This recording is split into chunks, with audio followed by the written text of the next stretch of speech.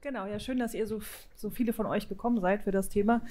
Ähm, ich bin die Hanna, ich arbeite für InnoQ. Wir sind Freunde von Synix und ähm, genau, ich habe den äh, Sai auf einer Konferenz kennengelernt und er hat mich gefragt, ob ich das hier auch mal zeigen will, was ich so erzählt habe. Und genau, vielen Dank für die Einladung. Freue mich sehr, hier zu sein und freue mich, dass ihr hier seid. Ähm, genau, InnoQ, wir, wir machen Beratung und äh, Softwareentwicklung. Viel mehr will ich nicht sagen. Ähm, genau, ich mache zu dem Thema auch ähm, so ein bisschen Workshops und so und ähm, entwickle aber auch ansonsten. Ne? Also ich mache nicht nur sowas. Muss man manchmal dazu sagen. Genau, wer, wer von euch ähm, hat dann von dem Thema schon irgendwas gehört? Okay, das sind nahezu alle. Das ist schon mal schön. Das sah am, das erste Mal, als ich so einen Talk gehalten hat, sah das nicht so aus. Ähm, das ist für mich ganz gut. Ähm, und wer von euch macht in der, auf der Arbeit so Microservices? Okay, das ist, ich würde jetzt sagen, ungefähr die Hälfte. Okay, ist aber auch ganz schön viel, finde ich, dafür, dass Microservices eigentlich ziemlich anstrengend sind im Alltag. Ne? Also ich weiß nicht, ob ihr da zustimmt, aber es ist schon nicht so leicht, die irgendwie in den Griff zu kriegen. Genau. Die erste Frage, ähm, mit der ich anfangen würde, ist, warum brauchen wir das eigentlich? Wieso brauchen wir noch mehr on top auf Kubernetes und Docker und so? Die, die Idee äh, von Microservices ist ja einfach, dass man so einen so Monolithen nimmt also ein riesiges Stück Software, was sich eigentlich nicht so richtig deployen lässt, also wo man so Deployment-Zyklen von ein oder zwei oder drei Jahren vielleicht äh, teilweise hat. Ähm, also das ist das Problem von Monolithen. Man will irgendwie die Time to Market, heißt das dann auf Fachdeutsch, ähm, verringern. Und die Idee ist, dass man diese große, komplexe Anwendung irgendwie einfach aufteilt anhand von fachlichen Schnitten und dann sagt, okay, ein Team kümmert sich um einen von diesen Microservices und das kann dann individuell deployed werden, kann man auch schön skalieren und so weiter. Das Dumme ist nur, dass diese Theorie in der Praxis leider nicht so funktioniert. Und ähm, das, wenn, also das liegt daran, wenn wir uns jetzt nur von zwei von diesen Microservices mal anschauen, wie das funktioniert, wenn die dann miteinander kommunizieren, ähm, dann muss man, wenn man diesen Aufruf macht muss man nicht nur diesen Aufruf mit HTTP irgendwie aufbauen, man muss auch irgendwie damit rechnen, dass das vielleicht lange dauert. Ne? Man ruft keine Methode auf, sondern man ruft halt über das Netzwerk einen anderen Service auf und kann nicht sicher sein, dass der in der Zeit antwortet, die einem irgendwie passt. Man muss auch vielleicht dann neu versuchen, wenn es einem zu lange dauert, hört man irgendwann auf und sagt, okay, ich versuche es nochmal. Oder wenn man irgendeinen Verbindungsfehler bekommt, probiert man es auch nochmal. Man muss vielleicht auch sowas machen wie Circuit Breaking. Also viele von euch kennen bestimmt Histrix als, als äh, Bibliothek. Ähm, das heißt, wenn, wenn der andere jetzt irgendwie mir in den letzten fünf Minuten ähm, hauptsächlich Fehler geschickt hat, dann sage ich erstmal, okay, ich lasse den mal erstmal in Ruhe und rede mit den anderen Endpunkten, die ich zur Verfügung habe. Ähm, das nennt, dann, nennt sich dann Circuit Breaking. Das muss man auch implementieren, meistens als Bibliothek. Wir wollen meistens auch, ähm, auch wenn wir alle die Anwendungen in einem Cluster haben, wollen wir die heute trotzdem, ähm, ach so, genau, Routing. Wir müssen auch noch äh, Routing-Konfigurationen anwenden. Ne? Also ihr wollt manchmal entscheiden, dass vielleicht eine andere Version angesprochen werden muss oder ihr wollt bestimmte Pfade irgendwo anders hinleiten. Genau, und ähm, Thema Verschlüsselung, ne? also innerhalb von, von so einem Netzwerk, ähm, von so einem Kubernetes-Cluster, ähm, ist man heutzutage auch da teilweise auch nur aufgrund von irgendwelchen Auflagen, dass man die Kommunikation zwischen zwei Microservices verschlüsseln will. Ja, also früher hat man sich da vertraut und dachte halt, innerhalb von dem Cluster ist alles lieb und nett, ne? aber es hat sich halt herausgestellt, dass man das, ähm, sich darauf nicht verlassen kann. Und das bedeutet auch, dass man das auf der anderen Seite halt wieder entschlüsseln muss. Und auch da holt man sich meistens dann Bibliotheken ins Haus, die das für einen tun. Ähm, man will auch sowas machen wie prüfen, darf der mich überhaupt aufrufen? Ne? Also ist das ein Service, der dafür gemacht ist, mich aufzurufen? Und ähm, was man auch ganz, also eigentlich immer möchte, ist irgendwie irgendwem Metriken zu schicken ne? oder irgendwie Metriken bereitzustellen. Wie oft wurde ich aufgerufen, was habe ich für Fehlercodes geschickt, in welcher Zeit habe ich geantwortet und so weiter. So. Und all diese Dinge führen irgendwie dazu, dass unsere kleinen Microservices eigentlich gar nicht mehr so klein sind, sondern dass das halt ziemlich aufgeplusterte Anwendungen werden mit ganz vielen Bibliotheken drumherum. Vielleicht kennen das einige von euch. Und da kommt halt das Service Mesh ins Spiel. Also und das verspricht euch, man nimmt diese ganzen Features, ja, packt die in eine Anwendung und viele von euch ahnen das vielleicht, man packt die einfach an die Seite von jedem Microservice und kann den Code, diesen Plüschcode, sage ich jetzt mal, das, was man drumherum macht, den kann man dann, auf den kann man verzichten. Das heißt, wenn man einen Aufruf macht, geht das halt dann immer über dieses, sind man dann Sidecar, also eine Anwendung, die jedem Microservice zur Seite gestellt wird. Und dann kann man halt diese ganzen Dinge anwenden und muss die nicht in seinem Microservice direkt drin haben. Ähm, das gab es auch schon vor einem Service Mesh, das heißt einfach, das ist ein Sidecar-Pattern. Und was ein Service Mesh hinzufügt, ist eine Anwendung, das ist jetzt dieses grüne Monster hier. Also wir kommen auch zu Code, ne? Also ihr müsst keine Angst haben. Ähm, wir nähern uns hier ganz langsam. Ähm, genau, dieses, ähm, dann gibt es noch eine zusätzliche Anwendung, die dafür sorgt, dass Konfiguration ähm, auch aktualisiert werden kann. Ne? Weil wenn ihr euch vorstellt, ihr deployt das mit Kubernetes in jeden von euren Deployments, schreibt ihr das rein. Wenn ihr dann irgendeine Version ändern wollt von dieser Anwendung, müsst ihr das halt auch überall auch ausrollen und das will man meistens nicht manuell machen. Und dieses Problem löst halt das Service Mesh, weil es eine Anwendung euch zur Verfügung stellt, die alle diese Sidecars kennt und die konfigurieren kann. Und nicht nur das, sondern ihr kriegt halt auch Metriken von allen diesen äh, Sidecars, bekommt halt diese Anwendung und kann halt Konfiguration verteilen. Das ist die Funktion von diesen beiden, äh, von dieser Anwendung. Und das heißt dann äh, Control Plane. Und das ist diese, diese blauen Dinger zusammen werden dann Data Plane genannt. Das sind so diese zwei Fachbegriffe. Das heißt, wir kommen von der Idee von einem Monolithen oder haben festgestellt, dass das keine gute Idee ist für, für heut, heutige Anforderungen. Wir hatten eigentlich vor, Microservices zu machen. Funktioniert halt nicht so schön, wie wir das wollen, sondern es sieht halt eher so ein bisschen so aus und kommen dann zu der super Idee des Service Mesh. Das ist, das ist sozusagen die, die Story, ähm, genau, die natürlich nicht so rosig aussieht, wie sie jetzt aussieht, genauso wie die Story hier am Anfang auch nicht so ähm, auch viel besser aussah, als sie, als sie sich dann rausgestellt hat. Genau, aber das ist jetzt schon der Spoiler. Ähm, genau, die Architektur, jetzt kommen wir so ein bisschen in Richtung Code, also noch nicht ganz, aber ein bisschen technischer wird es jetzt. Genau, also in der Praxis sieht es dann so aus, wir haben Microservices, die kommunizieren logisch miteinander, also die, die rufen sich wirklich auch auf, die rufen einfach den Servicenamen auf. Und drumherum haben wir halt ähm, diese Proxys, die, diesen, die, ähm, die dazu führen, dass der Verkehr immer über die geleitet wird. Ne? Also die, diese beiden Microservices kommunizieren nach außen immer über diesen Proxy. Und äh, habe ich schon gesagt, das heißt dann Data Plane. Und dann gibt es noch eine Control Plane, die halt mit diesen Proxys kommuniziert. Und an diese Control Plane angeschlossen sind dann halt auch, halt noch so Infrastruktur-Dinge. Also da könnt ihr zum Beispiel euch ein Monitoring-System vorstellen, was da dran angeschlossen ist. So, das ist jetzt schön, ne, so von Architektur so, das ist irgendwie eine gute Idee. Ähm, was kann man denn damit jetzt wirklich ganz konkret machen? Das gibt so vier Kategorien, von denen immer die Rede ist. Das eine ist Observability, ne, also dazu gehört Metriken, aber auch Monitoring. Manche behaupten auch, dass sie Logging können. Ähm, genau, dann gibt es Routing. Also da kann man so, am Ende kann man dann A-B-Testing damit machen zum Beispiel. Resilience, also äh, Right Timeout zum Beispiel und das Thema Security. Und das ist tatsächlich auch für viele Leute, von denen man so hört, die einen Service Mesh einsetzen, ist das halt so der Hauptgrund, ne? dass sie irgendwie ähm, beidseitig verschlüsselte Kommunikation zwischen ihren Microservices wollen.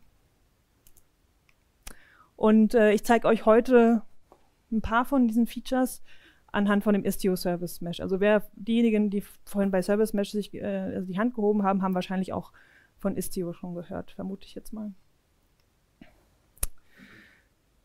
Genau. Wir fangen mal mit, äh, mit dieser Observability an. Und beim Thema Monitoring gibt es diese Four Golden Signals. Kennt das jemand schon von euch? Okay. Das ist von, von Google, von den SREs, also von den uh, Site Reliability Engineers, also die Leute, die dafür sorgen, dass eine Anwendung stabil läuft. Gibt es halt so vier Metriken, die, die die sich ausgedacht haben, die man immer haben, also sehen möchte. Ähm, und das ist zum einen die Latenz. Dann sind das die Anfragen pro Sekunde, also wie viel Traffic habe ich auf meinem Service, wie, wie viele Fehler hat der, also das sind halt Statuscodes, HTTP-Statuscodes meistens und dann auch noch, wie, wie ist meine Auslastung. Ne? Da geht es auch teilweise um Hardware und äh, genau. Genau, also und das kann uns halt ein Service Mesh schon liefern. Also und man, man muss sich halt immer klar machen, ähm, eure Microservices wissen nicht, dass diese Daten für sie verfügbar sind. Wo aber die Grenze ist, ist, dass wir halt nicht wissen können, wie die Geschäftslogikmetriken sind. Also wir wissen nicht, wie viele Käufe gemacht wurden. Ne? Also der Service Mesh sitzt halt nur äh, an eurer Netzwerkschnittstelle und kann da Daten rausholen. Das heißt, ihr braucht, also die schlechte Nachricht ist, ihr braucht immer noch ein paralleles Monitoring-System für eure äh, Fachlogik. Genau, das sieht dann konkret so aus. Ähm, eure Microservices sind deployed mit den Proxys äh, und die Control Plane, also die, die Proxys schicken halt dieser Control Plane in regelmäßigen Abständen ihre Metriken. Wenn so ein Buffer voll ist, dann schicken die halt die aktuellen Daten. Und die können halt einem Monitoring-System zur Verfügung gestellt werden. Je nachdem, welches System das ist, ist halt der Pfeil auch andersrum.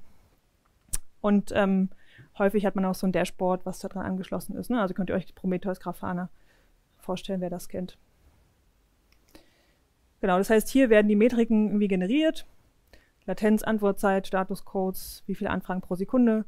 Dann werden die an ein Monitoring-System geschickt oder abgerufen von dem und für Menschen aufbereitet.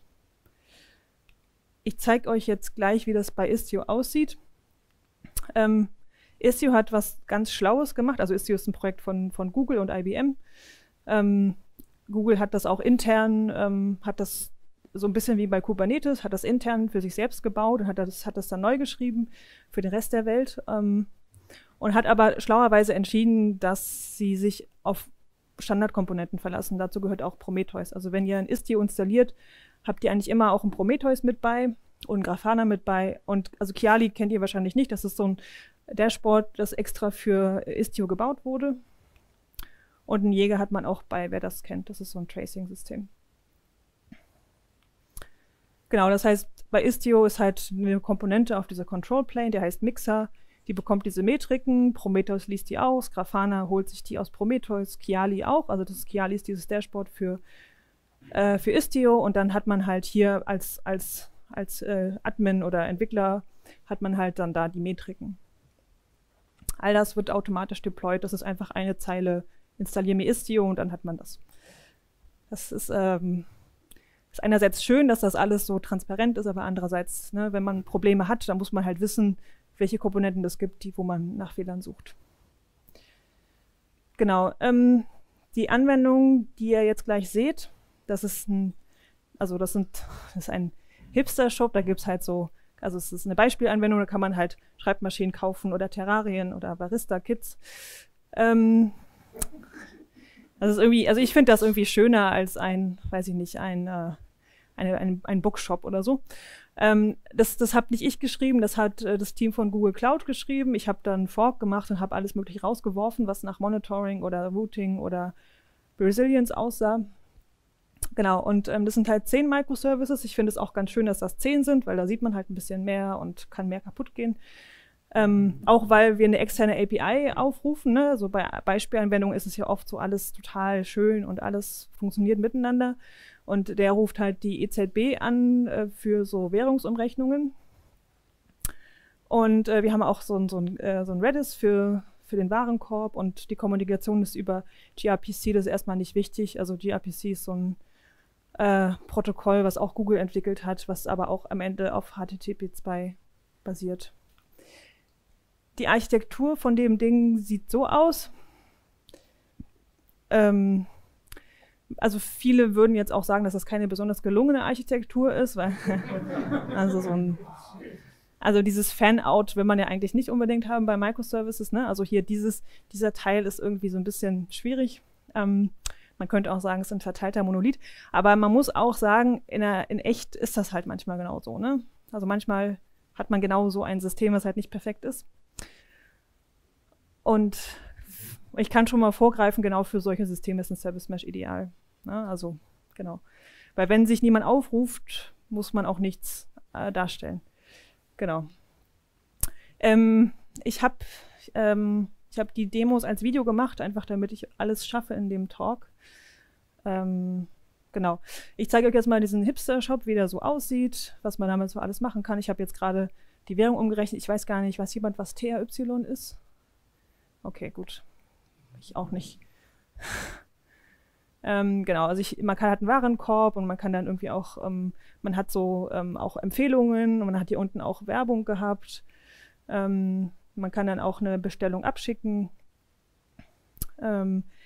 Irgendwie die Preise sind, die Preisberechnung ist irgendwie nicht ganz perfekt, aber gut, Beispielanwendung halt. Genau, jetzt habe ich eine Bestellung abgeschickt. Was ich jetzt eigentlich tue, ist, ich erzeuge mehr Traffic, den ich gleich sehen kann. Ne? Das ist jetzt quasi der Hintergrund. Ähm, ich habe jetzt, also damit ich nicht so viel rumklicken muss, habe ich mir so einen Load-Generator geschrieben, der mir einfach auch diese Anzeigen, äh, diese Anfragen generiert. Und das ist jetzt Kiali, das ist jetzt dieses Dashboard von Istio. Da sehe ich halt auch, dass plötzlich ganz viel Traffic gekommen ist an der Stelle schon. Und das ist jetzt der Graph. Das ist immer das, was für alle am beeindruckendsten ist. Das lieben die Manager. Das ist halt einfach. Also man muss sich halt wirklich klar machen, dass die, dass die Services nicht wissen, dass, dass das von ihnen bekannt ist. Ne? Und ähm, genau, da kann man jetzt auch äh, sogar suchen drin und so. Man kann auch, hat auch verschiedene Darstellungsoptionen. Wir können uns das Protokoll anzeigen lassen. Das ist jetzt gRPC, dieses äh, Protokoll von Google.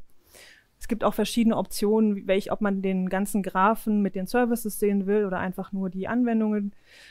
Ähm, man kann sich anzeigen lassen, wie viele Anfragen pro Sekunde kommen. Das sind jetzt, ne, und man kann auch sehen, wie die, wie, wer, wer offensichtlich am meisten angefragt wird. Ähm, man kann auch, genau, wie viel Prozent der Anfragen geht wohin, ne? also nur 5,6 Prozent der Anfragen gehen zum Ad-Service. Das ist halt vor allem schön, wenn man so einen A-B-Test macht oder so, dann kann man halt sehen, ob der funktioniert oder nicht. Ähm, genau. Und die Antwortzeit, also das ist halt auch schon toll, ne, dass man sieht, das muss man aber da oben, also das ist, da oben steht das halt 13 Millisekunden und dann sieht man halt, dass bestimmte Services ähm, länger dauern und also andere nicht. Da kann man halt auch so ein bisschen gucken, warum das so ist zum Beispiel. Genau. Das ist, das ist Kiali, das ist tatsächlich auch sehr schön. Ein, ein super Feature, was auch für Manager super funktioniert. Das heißt, und dann muss ich halt, also ich meine, das ist einfach CSS, ne? Das ist jetzt ist kein, kein Package, was da, was da ist. Ähm, und es gibt sogar, es gibt sogar, man kann sich sogar Security anzeigen lassen. Also, das ist dann so ein, ich weiß gar nicht, ich glaube, das habe ich am Ende auch noch, dass man hier so ein Schloss dann hat. Genau. Ja. Also es lohnt sich auf jeden Fall. Also so, so Istio ist halt so ein Produkt, was extrem gutes Marketing macht. Ne? Und ähm, da, dafür braucht man sowas halt auch. Also und ich meine, es, es ist natürlich, äh, also so ein Alerting fehlt halt bei Istio komplett. Also es ist schön, dass man diesen Graphen hat, aber ähm, es ist noch ein weiterer Schritt, irgendwie zu gucken, dass, also zum Beispiel, wenn irgendein Fehler passiert, also hier sehen wir zum Beispiel, wie viele 200er habe 200 hab ich bekommen und wie viele andere ähm, Statuscodes. Wenn da jetzt ähm, Fehler passieren, wird der Graph halt rot. Ne? Und das zu transformieren in irgendeine E-Mail, die irgendwer bekommt, das muss man halt selber noch lösen.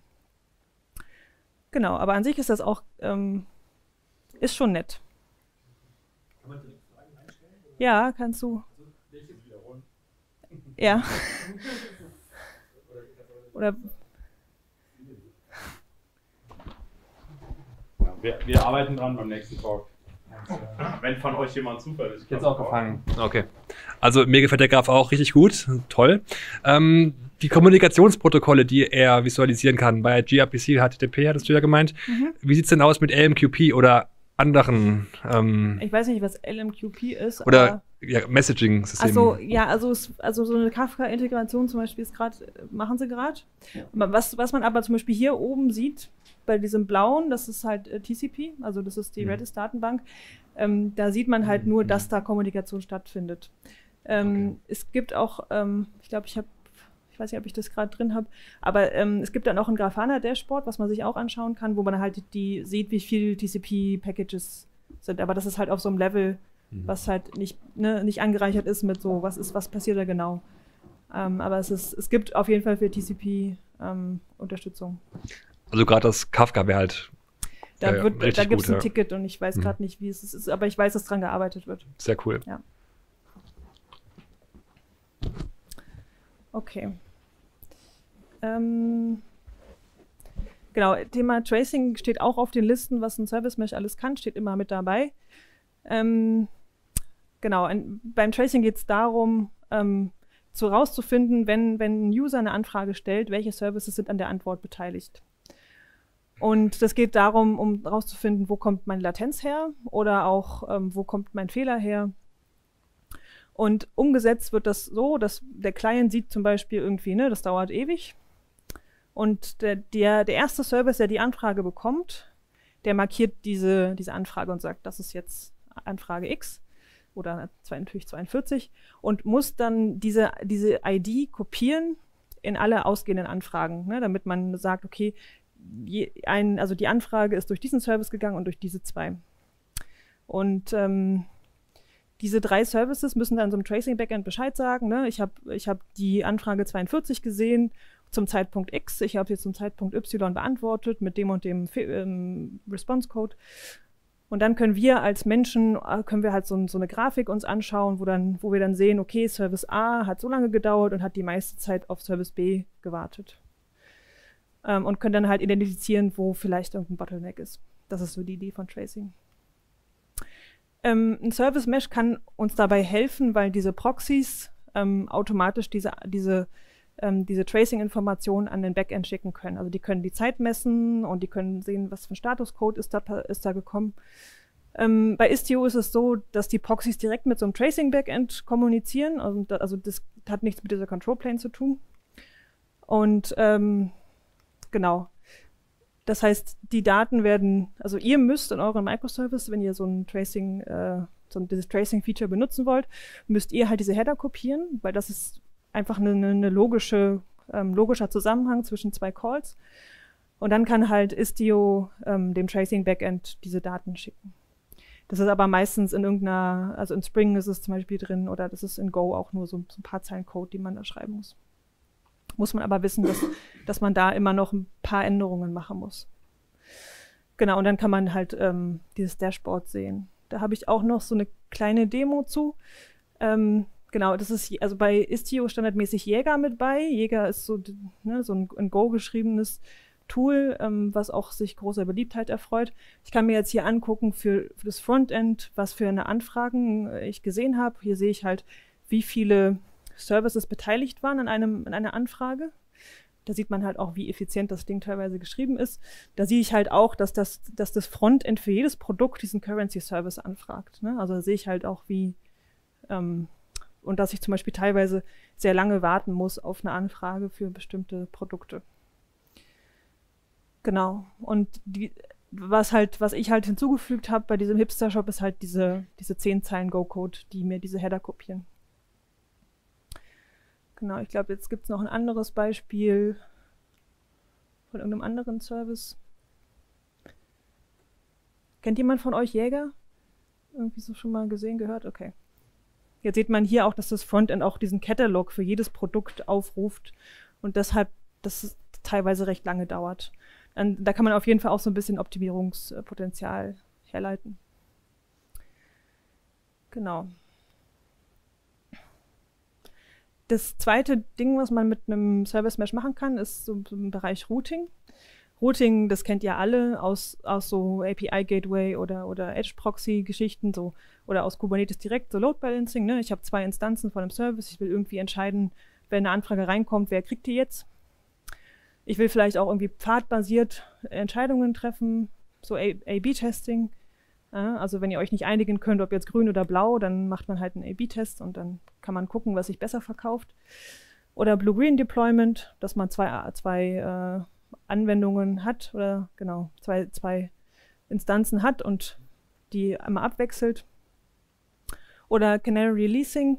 Wer, wer kennt, wer weiß, was Canary Releasing ist? Okay, also für, für die, die sich nicht gemeldet haben, da geht es halt irgendwie darum, also es macht, zum Beispiel Facebook macht das auch, wenn sie ein neues Feature haben, wo sie nicht ganz genau wissen, ist das jetzt, macht das Sinn, ist das irgendwie gut von der Usability, dann rollen die das erstmal irgendwie in Berlin zum Beispiel aus oder meistens irgendwo in den USA. Und dann gucken die halt, wie das benutzt wird und dann rollen sie das halt immer weiter aus auf USA und dann irgendwie ganz Amerika und dann vielleicht die ganze Welt. Und ähm, die Idee ist halt, dass, also der Hintergrund ist, dass man halt früher in so Minen, ähm, also die Minenarbeiter haben halt so einen Kanarienvogel mitgenommen Manche ahnen das vielleicht schon. Und er ist dann halt, der ist dann halt umgefallen, ich sage jetzt mal umgefallen, als ähm, wenn halt dir irgendwelche Gifte in der Luft waren oder so, ne? Und die Idee ist hier die gleiche, dass wenn es in Berlin schief läuft, haben wir halt nicht die ganze Anwendung kaputt gemacht, sondern halt nur einen Teil der Welt. einen, einen ganz besonderen Teil der Welt. Äh, ich komme da halt auch her, aber gut, ja. Genau, das ist die Idee von Canary Releasing. Und ich, ihr kennt das alles von so ähm, API-Gateways oder Edge-Routern, so Nginx und so. Ähm, aber das Schöne an einem Service-Mesh ist, ist, dass ihr diese ganzen Entscheidungen für jede Kommunikation zwischen zwei Services treffen könnt. Ihr müsst nicht an eurem Eingang entscheiden, wo jetzt das hingeht, sondern ihr könnt halt immer in jeder Aufruftiefe, sage ich jetzt mal, Entscheidungen dieser Art treffen. Das heißt, es funktioniert so, ihr definiert Routing-Regeln, selbstverständlich in YAML und dann, und dann werden die halt an die Proxys verteilt und die Proxys wenden die halt bei jeder Anfrage einfach an. Das heißt, ihr könnt dann so eine Geschichte machen wie, ähm, wir haben jetzt zum Beispiel Service 1 und zwei Versionen von Service 2 und ihr könnt sagen, schickt 90% von dem Traffic an den und 10% an den. Oder ihr sagt, okay, wenn immer wenn jemand neu äh, im Pfad hat, dann schickt den an 2b. Oder ihr könnt auf irgendwelchen HTTP-Headern Entscheidungen treffen. Dazu muss natürlich dieser Header da sein. Ne? Das ist dann Aufgabe von diesem Service, dass er diesen Header mitschickt. Genau, damit kann man halt auch A-B-Testing und Canary Releasing machen. Was man auch machen kann, ist, ähm, dass man so ein äh, Staging-System hat und ein Live-System und man kann Traffic Mirroring machen. Das heißt, ihr könnt eurem Staging-System Live-Traffic rüber kopieren und mal gucken, ob das damit zurechtkommt. Ne, weil manchmal sind die Tests halt nicht so gut, wie die User testen. Ne? Und ähm, genau, das ist halt manchmal ganz gut, mal zu gucken, ist, ist, also kommt meine API mit echten Anfragen zurecht. Man kann auch ein paar mehr Sachen machen, genau, aber ja. Ähm, genau. Ähm, für diese Konfiguration äh, zeige ich euch jetzt endlich mal Code. Also wie, wenn man diesen Fall hier abbilden möchte, dass man ähm, von, vom Eingang, also das ist jetzt der, also Istio nimmt auch ähm, äh, übernimmt die Kontrolle für den Ingress-Proxy. Wer, also wer Kubernetes im Einsatz hat, äh, man hat immer eine Anwendung, die den eingehenden Traffic kontrolliert. Und bei Istio muss man halt diesen Ingress-Proxy von Istio nehmen. Das ist tatsächlich auch einer der großen Kritikpunkte, weil damit Istio sehr invasiv ist.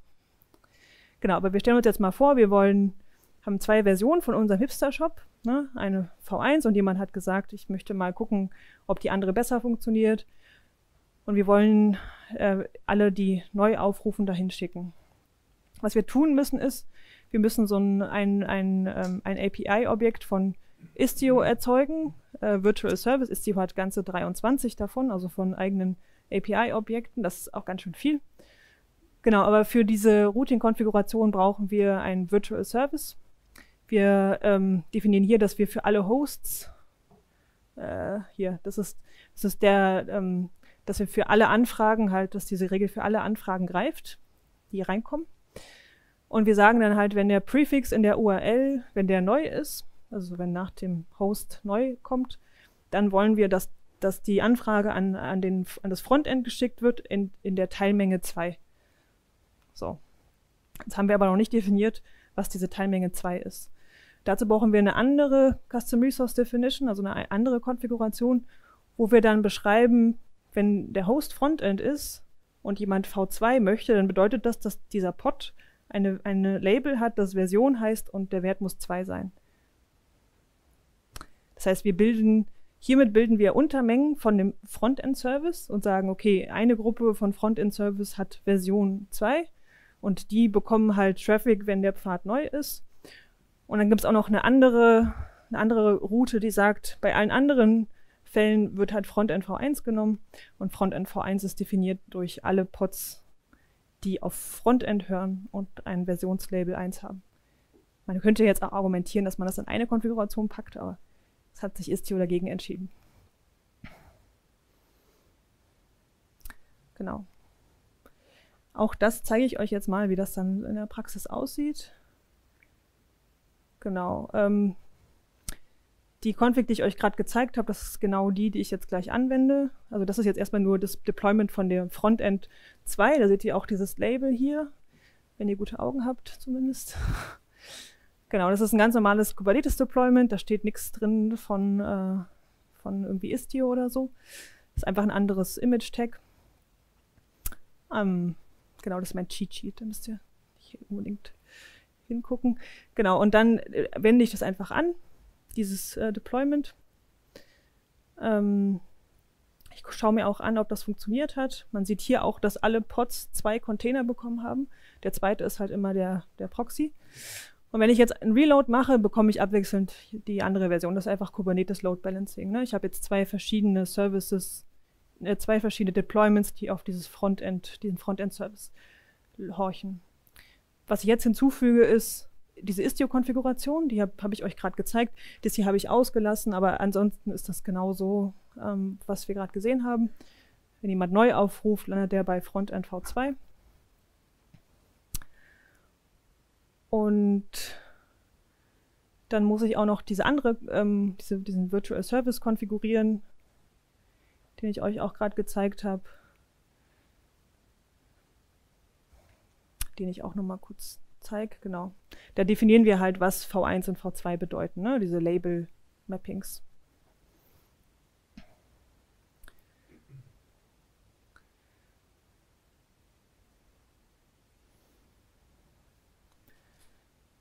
Genau, und wenn ich das dann aufrufe, also das, die, das ist eine ganz normale Anwendung, dann, also ich mache jetzt gerade Reloads, das sieht man gerade nicht. Und wenn ich jetzt nochmal ähm, die gleiche ähm, IP-Adresse aufrufe mit slash neu, dann bekomme ich halt die neue Version von dem Frontend. Genau, es gibt auch noch die Möglichkeit, dass man prozentual äh, Routing-Konfigurationen anwendet. Ähm, da zeige ich auch gleich mal kurz die Konfiguration.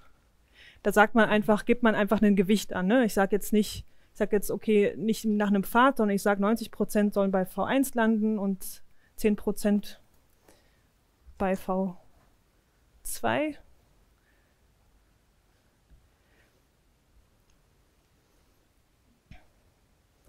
Und äh, das, ich mache jetzt auch so ein paar Reloads, aber ähm, das, das sieht man jetzt nicht so gut. Ich glaube, ich habe gleich noch ein Skript, was ich ausführe, damit man das auch mal, genau, ich mache jetzt 20 Mal, frage ich jetzt einfach die, die äh, IP-Adresse an und lies mir den Titel raus. Äh, und dann sieht man halt, dass, dass die, das Verhältnis von Hipster Shop 2 und Hipster Shop eh so ungefähr 90-10 ist. Und ich kann mir das auch in diesem Kiali anschauen. Da ist es, glaube ich, jetzt nicht genau so, wie ich das gerne hätte, weil alte Anfragen damit reinzählen. Aber ich sehe jetzt hier, wenn ich mir den, den prozentualen Anteil anschaue, sehe ich auf jeden Fall von der Tendenz her, dass das so in die Richtung geht. Und was auch ganz schön ist, dass ich hier halt auch sehe, dass ich zwei Versionen von meinem Frontend habe. Ja. Genau. Da ist noch mehr, was man mit äh, Routing machen kann, aber ihr könnt euch, glaube ich, jetzt ungefähr vorstellen, wie das, wie das konfiguriert wird. Beim Thema Resilience äh, kann man so ein paar, also hat man, man hat bei so verteilten Systemen so verschiedene Probleme. Ähm, es gibt so Fehler und es gibt Verzögerungen. Was ist schlimmer? Verzögerung, sehr gut, ja genau. Geht mir auch so. Ne? Also wenn, wenn ich einen Fehler bekomme, habe ich zumindest einen Fehler. Wenn ich, wenn ich warte, weiß ich nicht, warum ich warte. Ne? Also, und irgendwie muss ich mich entscheiden, dass ich abbreche und genau, dann äh, muss ich damit auch umgehen. Mit einem Fehler weiß man manchmal, wo, was man vielleicht versuchen kann. Das Ziel immer, also egal welcher, was, was für einen Fall man hat, man möchte eigentlich immer, dass das ganze Gesamtsystem trotzdem irgendwie funktioniert.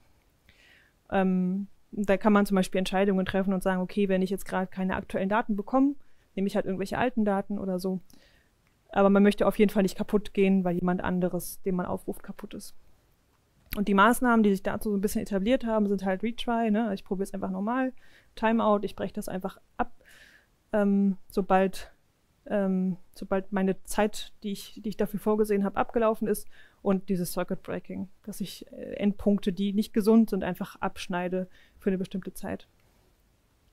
Mit dem Service Mesh ist das so ähnlich wie beim Routing. Wir definieren Regeln in so einer YAML-Datei und die werden dann auch an die Proxys geschickt und die Proxys wenden das halt einfach an. Ne? Also wenn dann Fehler kommt, dann machen die die Anfrage einfach nochmal. Das heißt, ich kann sowas machen wie ich frage den an, der wartet, der dauert irgendwie sehr lange, bis er antwortet. Irgendwann sage ich halt, nee, das, das, da warte ich jetzt nicht weiter. Dann probiere ich es vielleicht nochmal und dann gibt er mir irgendeine 500er. Und dann probier es vielleicht nochmal. So, ne? Das sind so Dinge, die kann man damit abbilden. Ähm, und was man auch machen kann mit einem Service Mesh ist äh, Fault Injection und Delay Injection, also so Stichwort Chaos Engineering. Also man kann gucken, was passiert eigentlich, wenn ich Fehler oder Verzögerungen einbaue. Fragt ihr euch, warum will man das? Man hat da manchmal so Annahmen über sein System. Ne? Man denkt, okay, wenn der mal ausfällt, ist nicht so schlimm.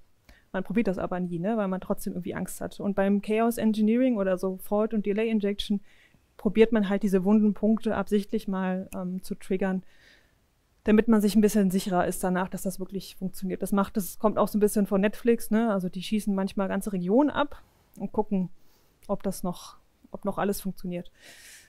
Genau. Ähm, die Konfiguration für Retry und Timeouts ist auch so mit diesem Virtual Service, den haben wir gerade auch schon fürs Routing gesehen. Hier ist es jetzt nicht für das Frontend, sondern für einen Service, der diese Empfehlungen macht. Und wir sagen jetzt, äh, alle Anfragen an diesen Recommendation Service sollen dreimal neu versucht werden, also insgesamt dann viermal. Jedes Mal warte ich maximal eine Sekunde und ich versuche es dann neu, wenn ich einen Verbindungsfehler bekomme oder irgendeine 500er. Aber insgesamt antworte ich dem Client in zwei Sekunden. Das heißt, ich warte die länger als zwei Sekunden. Genau, und dann, wir müssen bei Istio immer noch konfigurieren, dass die Anfrage immer noch zum Recommendation Service gehen muss. Aber das Interessante ist halt dazwischen. Genau, das ist ziemlich straightforward. Also es gibt auch noch, ähm, es gibt auch noch andere, also dieses Circuit Breaking, das sieht ein bisschen wilder aus von der Konfiguration, aber genau, das ist relativ straightforward mit dem Retry Timeout.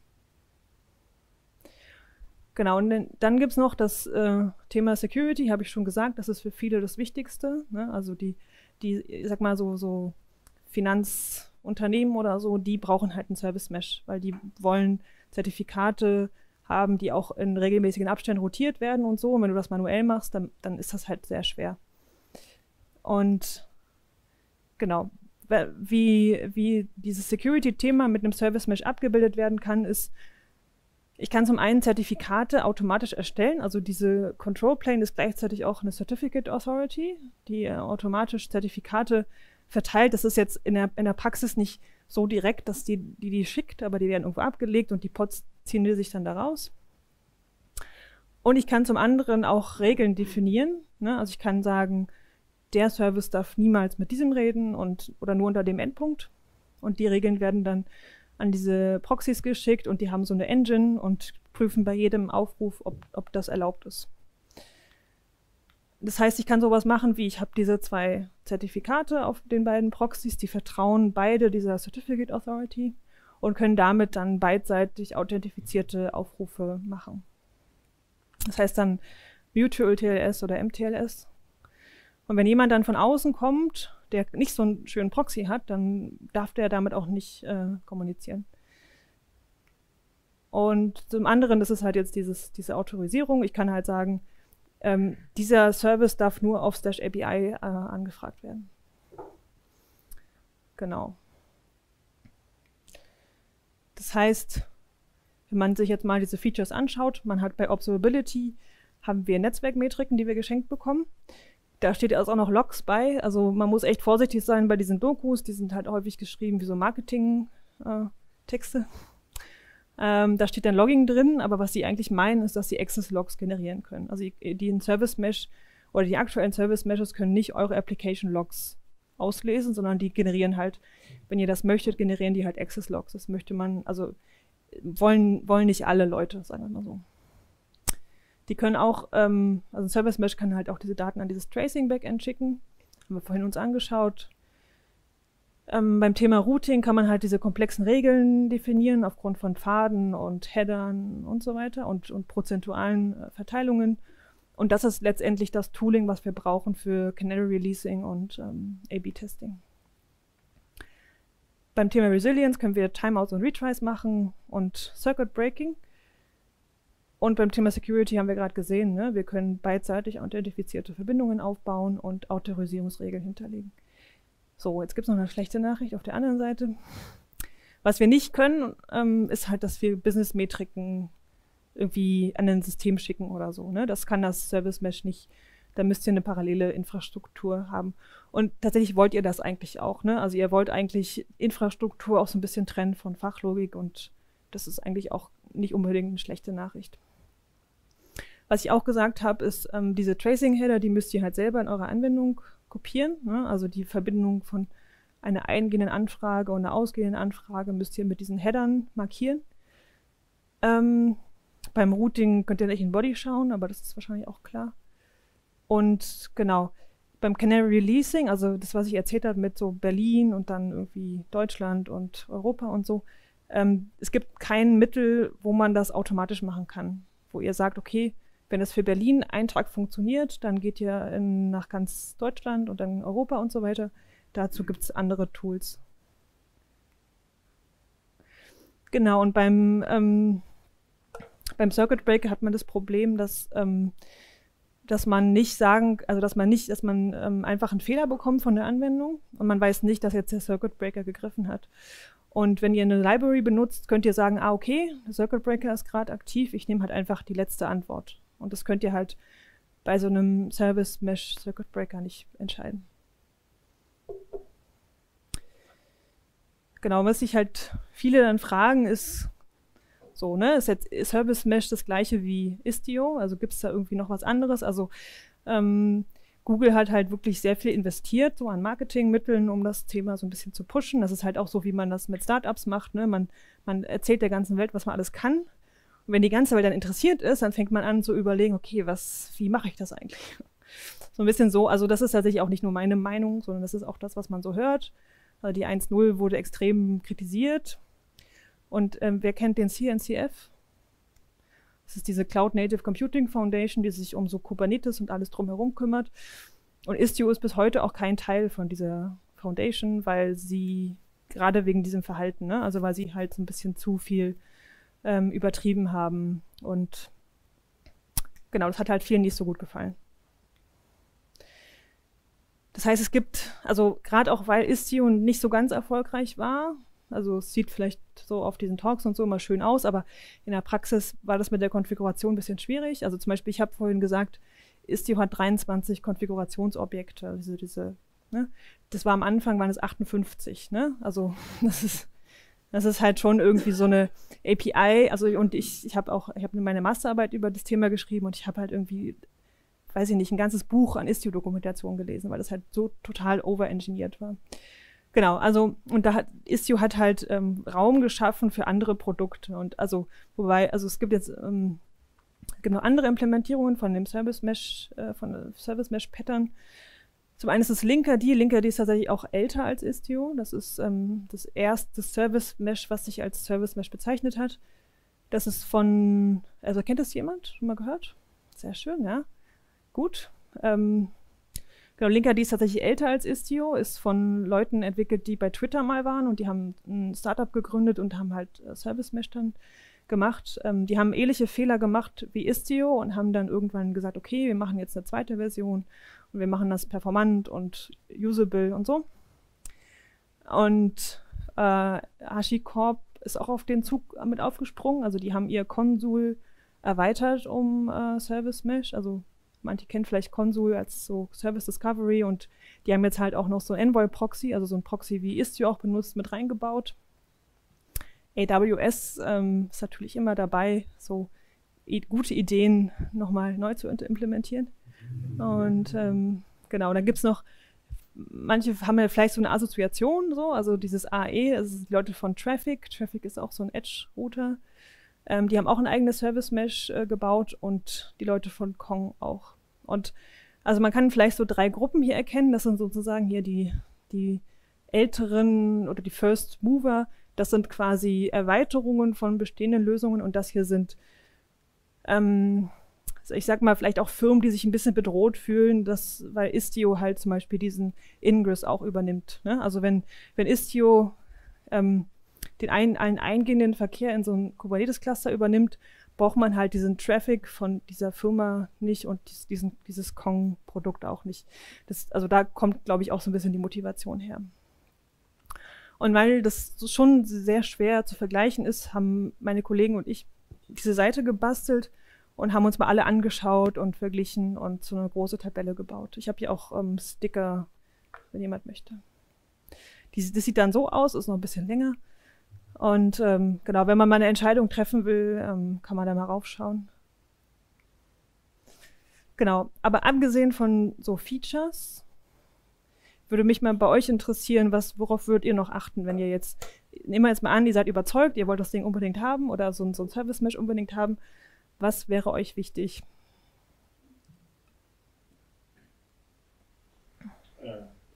Also mir persönlich Ich kann es wiederholen.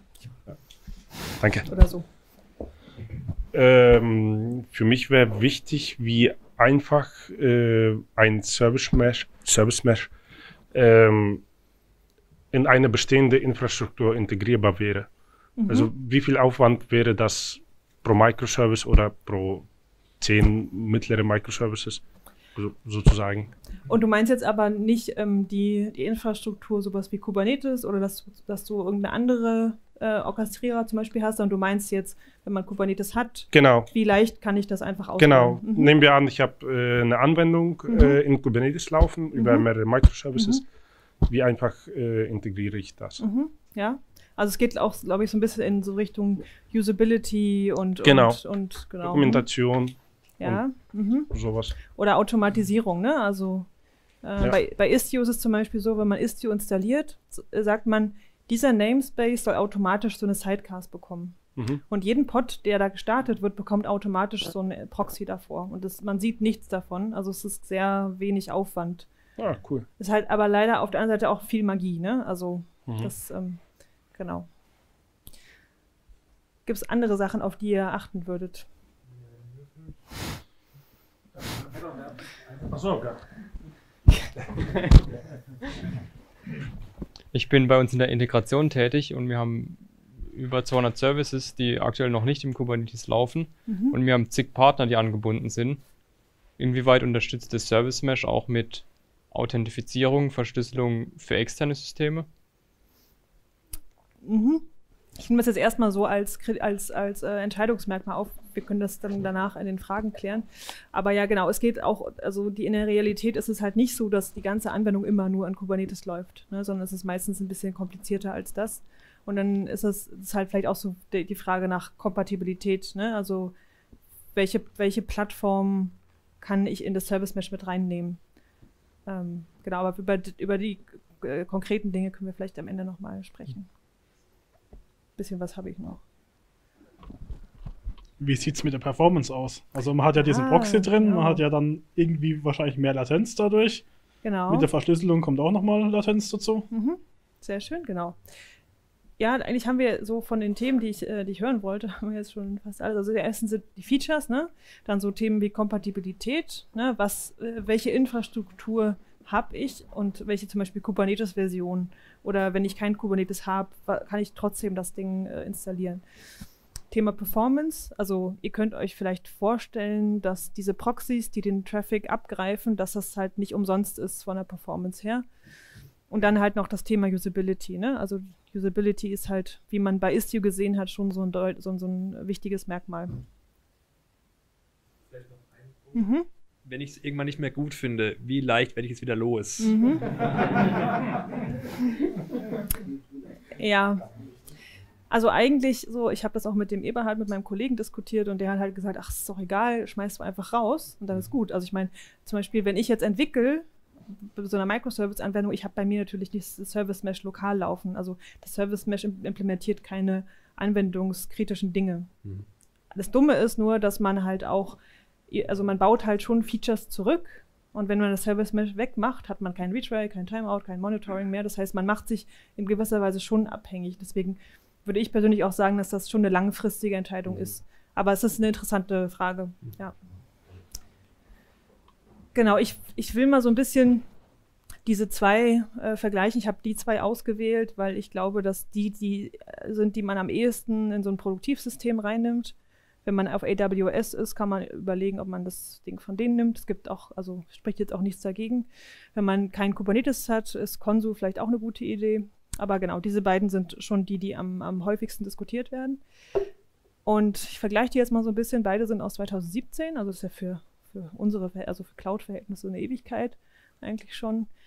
Ähm, Istio kommt aus äh, von IBM und Google und äh, Linker die halt von diesem Startup, das heißt Buoyant.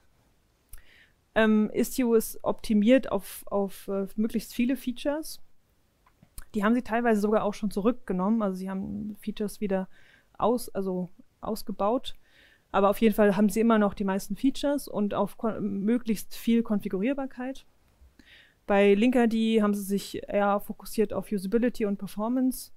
Und ähm, Istio ist zwar optimiert für Kubernetes, aber wenn man was außerhalb von Kubernetes laufen hat, kann man das irgendwie auch mit reinnehmen. Aber das, das, also die Installation muss in einem Kubernetes erfolgen. Und Linkerd ist halt ähm, wirklich nur, wenn man auf Kubernetes läuft, eine Option. Bei den Features ist es so, ähm, ne, Istio könnte man sagen, Kubernetes und vielleicht noch ein bisschen mehr. Beide habe ich vorhin schon kurz angesprochen, die injizieren automatisch diese Sidecars. Das heißt, ähm, die Side, also diese Proxys, die daneben deployed werden, ähm, werden automatisch hinzugefügt. Ja. Ähm, Admission, die, die Frage ist, wie machen sie das? Ähm, Admission Controller, wenn du das kennst. Das ist halt, die, die hängen sich an diese Kubernetes API und haben da so ein Plugin quasi installiert. Und immer wenn du Kube Control Apply machst, läuft diese Anwendung und die fügt dann, ähm, die ändert dann diese Spezifikation, die du da angewendet hast.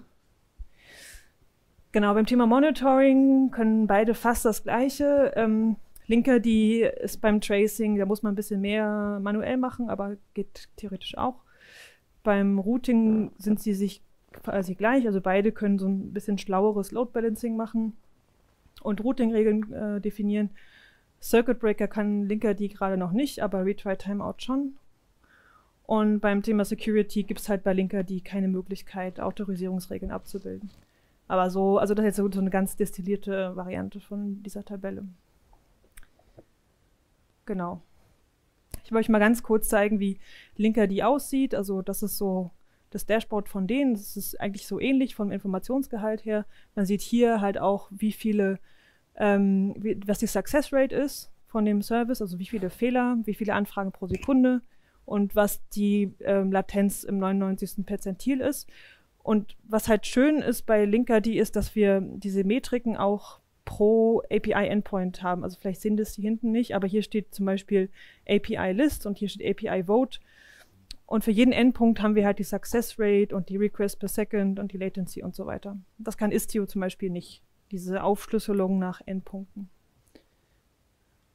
Es lohnt sich also bei dieser Doku ein bisschen genau hinzuschauen, was jetzt Thema Monitoring ist. Ne? Es ist sehr, sehr unterschiedlich implementiert. Genau, die Frage nach Latenz kommt immer relativ schnell, weil man halt sehr viel mehr Anwendungen hat, die da an so einer Anfrage beteiligt sind.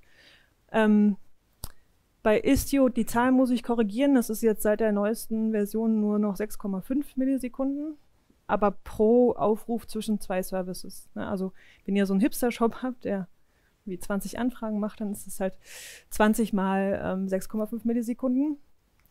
Ähm, bei Linker die zwei, die haben keine offiziellen Zahlen, aber die Versuche, die andere Menschen gemacht haben und die ich auch ein bisschen gemacht habe, deuten darauf hin, dass das nicht wesentlich weniger ist. Also vielleicht eine halbe Millisekunde oder so weniger, aber ähm, was bei Istio halt der Fall ist, ist, dass das, das, ähm, das, also die 0,1 Prozent der Anfragen teilweise sehr, sehr langsam sind, also so eine Sekunde oder so.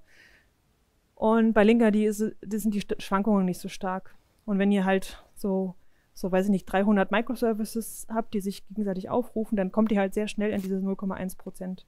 Das heißt, äh, ne, das, das, Risiko, dass der Enduser, die, der Enduser die Latenz mitbekommt, ist dann halt sehr hoch. Genau, beim Ressourcenverbrauch ist klar, dass diese ganzen Container, die ihr noch deployt, neben eurer eigentlichen Anwendungen, dass sie halt auch ähm, Ressourcen brauchen.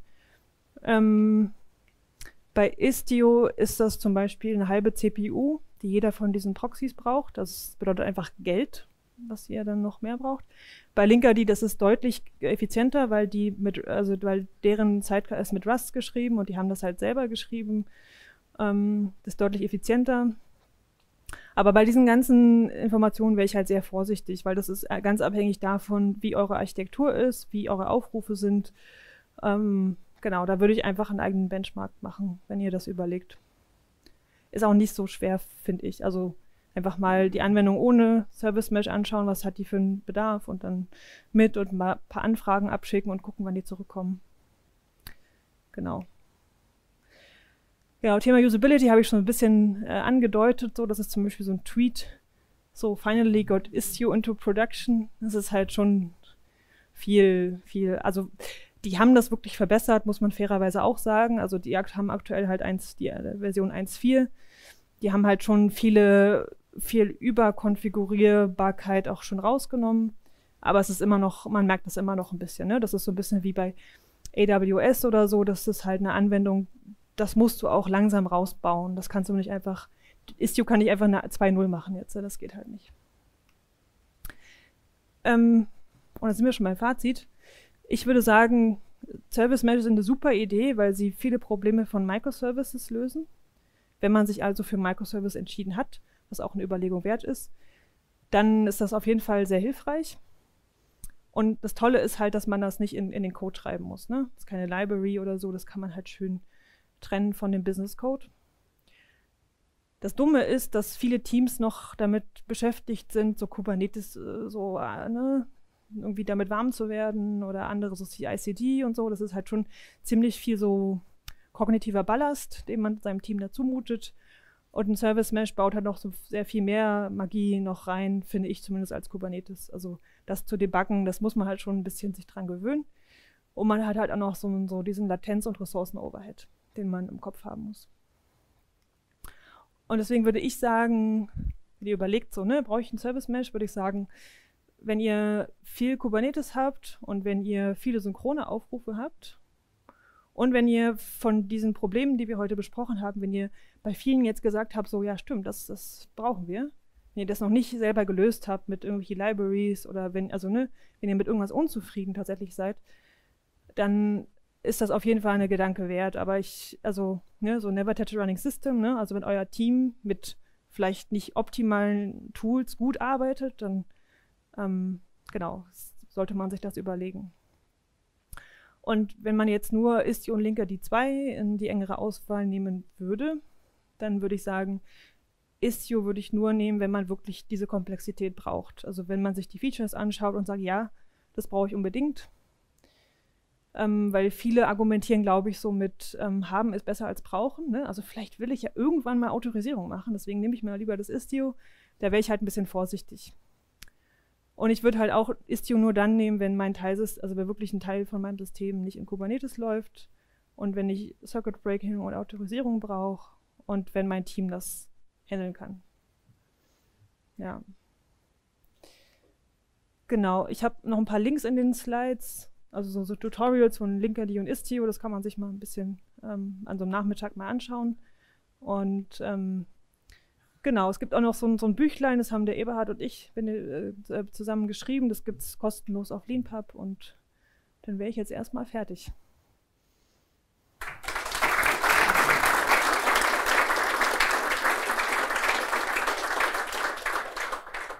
Und ich glaube, haben wir noch Zeit für, ich glaube, wir haben noch Zeit für Fragen, ne? Also ich habe noch Zeit für Fragen. Wir müssen jetzt keine halbe Stunde Fragen machen. Die wichtigsten auf jeden Fall. Also die haben jetzt aber auch noch da bestimmt ein paar Minuten. Ja, ich fahre nicht nach Berlin heute. Ich hätte noch eine kurze Frage. Der Würfel, genau. Yeah. Der erste, der das geworfen hat. Okay, ähm, beim Thema Netzwerklogs. Also sehe ich Ja. wirklich den HTTP-Request oder sehe ich immer nur so abstrakte Sachen wie den, die Trace-ID oder den Pfad? Du, du siehst die gleichen Dinge, die auch in Prometheus stehen würden. Also du siehst, du siehst nicht den, nee, du siehst nicht den Request, sondern was halt passiert ist, dieser Link, dieser Envoy, also Istio benutzt einen Proxy, der heißt Envoy, der ist so sehr, sehr beliebt. Ähm, der ist in C geschrieben und der protokolliert von jedem Call so, ich weiß nicht, 40 Attribute. Latenz, Zieladresse, Quelladresse und die Logs sind halt in diesem Format. Also du kannst Okay. tatsächlich auch mit Istio ein Log-Format definieren und das wird dann auch benutzt. Aber du bekommst keine, nicht wirklich die Logs, also nicht wirklich Ja. die, ja.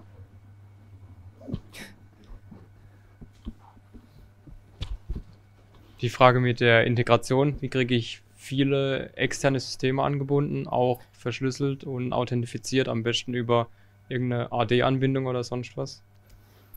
Eine, eine was? Ah, Eine was? Active Directory. Ach so, ja. Mm. also, also, ähm, also es gibt auf jeden Fall ein Tutorial von Istio dazu. ähm, das heißt dann Mesh, Mesh Expansion ist dann der Begriff dafür. Also sie bieten auf jeden Fall an, dass du, ähm, wenn du zum Beispiel einen Teil der Anwendung nur so in Containern hast, äh, in irgendwelchen Cloud-Anbietern oder irgendwo, ähm, ich glaube, ohne Container wird es tatsächlich schwierig. Aber wenn du irgendwo Container liegen hast, die nicht in Kubernetes sind, kannst du manuell so einen Proxy definieren, den du daneben setzt, den du so konfigurierst, dass der, der Traffic immer über diesen Proxy geht.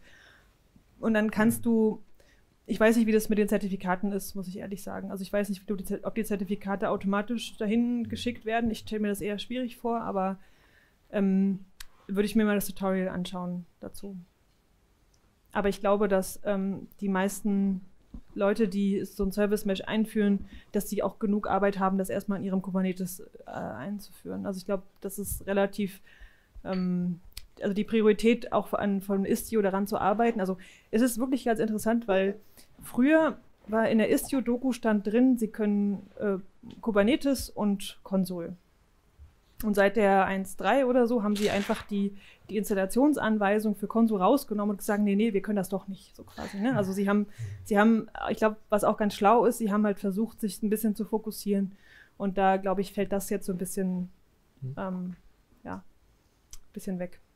Der Plan ist eigentlich, wenn du so eine Service Expansion oder Mesh Expansion machst, ist, dass du auch an den externen Services Envoy deployst. Und dann sprechen die Envoys miteinander und du erlaubst dem Envoy von deinem Service mit dem Envoy von dem externen Service zu sprechen. Und dann brauchst du keine Authentication mehr eigentlich, weil du das über die Envoy gRPC Connection machst.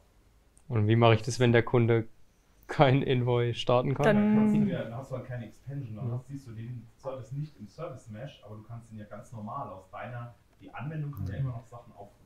Genau, also das ist auch so, man, man kann auch ähm, so, ähm, was mit Kubernetes auch geht, so External Name und External IP. Also du kannst quasi sagen, ich weiß, es gibt diesen Endpunkt und immer wenn jemand eine Anfrage an, weiß ich nicht, abc.de schickt, dann kannst du das auch sehen. Aber du kannst halt auf der anderen Seite, wenn du keinen Zugriff hast, ist das halt nicht im Service Mesh drin. So, so einfach ist das leider. Vielleicht direkt eine Frage zu dieser Expansion. Kann ich denselben Envoy in zwei Control Planes haben? Weil, wenn ich bei dem anderen System den platziere, dass er in meinem Service Mesh drin vorkommt, kann es ja sein, dass der Dienst, den ich aufrufe, den auch bei sich ja sehen will. Ja, und dann quasi mein Endpunkt in seinem Service Mesh. Also, das kann man, Das, das meinst, dass man, dass man zwei Cluster miteinander, also dass man für Ja, zwei Cluster. Also dieses genau das gleiche Szenario jetzt eben. Ich habe ein System, das ist meins, und ich habe ein anderes System, das ist das von meinem Kunden. Mhm. Da will ich was aufrufen, da muss ein Envoy laufen. Ja, das war Mhm. ja die äh, Idee. Und Mhm. jetzt soll dieser Punkt in meinem Mesh auftauchen und im Mesh des anderen Betreibers. Also das war meine Frage. Ach so, du meinst, dass ähm, du hast eigentlich nur eine Control Plane. Also du kannst auch mehrere Control Planes haben, aber du hast, glaube ich, also soweit ich jetzt Istio verstanden habe, hast du nicht dann eine Control Plane für dein externes System und eine für dich, sondern du würdest halt deine Anwendung erweitern. Also, weil wenn du nämlich kein Kubernetes auf der anderen Seite hast, dann Mhm. hast du sowieso keine Control Plane. Also deswegen muss halt Istio in einem Cluster installiert werden, wo Kubernetes, also auf dem Kubernetes-Cluster installiert werden. Und du kannst halt dann deinen Mesh erweitern. Aber die anderen Envoys, die musst du manuell patchen. Da ist keine Control Plane, die Gut. das, äh, also die melden das dann halt auch an deine Control Plane in Kubernetes. So meine Auffassung. So, äh, es hieß gerade, die Anwendung kann immer noch Sachen aufrufen. Also kann immer noch normale Calls machen. Kann ich das einschränken? Was meinst du mit die Anwendung kann normale Calls Na, machen? die, die Anwendung kann immer noch normale äh, andere externe Services oder Ach so, so, aufrufen. ja, ja, du kannst das äh, tatsächlich hat auch die erste Version von Istio hat das auch blockiert. Immer wenn du dann eine externe Anfrage gemacht, gemacht hast, hat die gesagt, nee, darf nicht.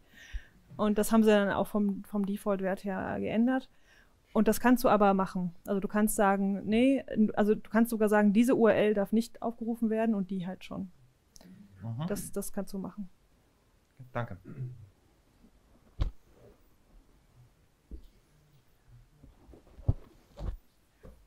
Frage, weil du vorhin gesagt hast, ich will vielleicht ähm, meine Infrastruktur von Istio jetzt nicht unbedingt mit dem mischen, was ich, was ich Mhm. sonst verwende. Also zum Mhm. Beispiel ein Jäger oder ein, ähm, ein Prometheus benutze ich ja gerne auch für meine eigenen Daten. Ja. Ähm, kann ich das dann und hat Istio damit ein Problem oder, oder ist es okay für Istio?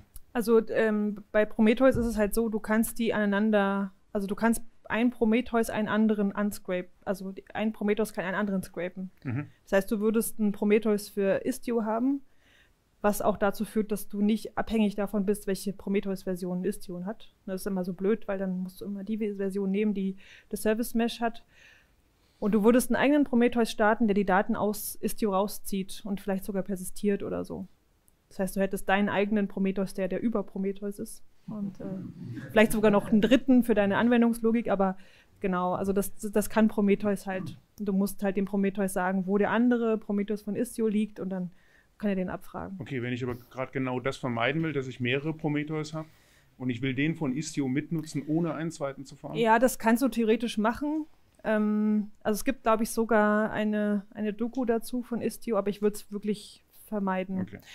Weil wenn dann halt, wenn du zum Beispiel dein Service Mesh aktualisierst, ja, dann musst, musst Muss du halt damit mit, leben, ja. welche, welche Prometheus-Version Istio hat und musst halt auch mit dem Lifecycle von Istio leben. Ne? Dass wenn du das Service Mesh aktualisierst, musst du ein Backup machen von deinen Business-Logik-Metriken. Und das ist, ähm, ja genau, aber geht, gehen tut das sicherlich. Ja. Danke. Also ich würde vielleicht vorschlagen, dass wir einfach weitere Fragen bei der Pizza machen, weil die ist jetzt nämlich da und warm. Ja, Pizza ist da. ähm, genau. Quatsch noch ein bisschen, probiert mal äh, den Talk zu challengen. Oder stellt eure Fragen, alles was bei euch nicht funktioniert hat. ich ich sehe das immer so ein bisschen als so ein gratis Consulting nach. ähm, vielleicht mache ich auch nicht. Ähm, genau, und ansonsten kann ich halt nur sagen, ähm, wenn ihr Bock habt, mal hier einen Talk zu machen, ja, und vielleicht euch nicht sicher seid, schaffe ich das oder nicht, das schafft, das schafft, das ist, die Leute zerreißen einen ja nicht, ja, das ist wirklich eigentlich eine nette Möglichkeit, auch sowas mal auszuprobieren. Ja. Vielleicht kommen halt nur zehn Leute, das ist aber nicht schlimm. Wenn ihr der Meinung seid, ihr würdet auch gerne mal in eurer Firma diese Menge Leute haben, dann meldet euch auch gern bei uns, weil wir sind auch froh, wenn sich mal andere Firmen auch beteiligen. Ja, einfach, dann hat man so, sieht man mal eine andere Firma. Es gibt hier Leute, die kommen jedes Mal. Hier schon wieder Synix oder schon wieder äh, Blue Yonder oder sowas. Ja, wenn ihr irgendwie da jemand kennt oder so, dann macht das gerne auch. Ist auch eine coole Werbung für die Firma immer. Und ansonsten danke, Anna. Sehr Ähm, gerne.